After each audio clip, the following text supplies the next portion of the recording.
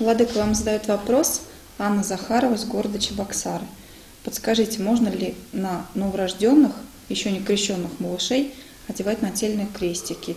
И можно ли носить э, крестики некрещенным людям? Ну, во-первых, э, крест, э, крестик, символ креста, это символ принадлежности к христианству.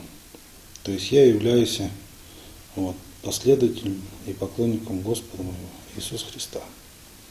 Поэтому как бы использование э, другими этого символа, ну, если чисто как украшение, ну, это один вопрос. А, а если как, так скажем, символ того, что я принадлежу христианству, совершенно другое.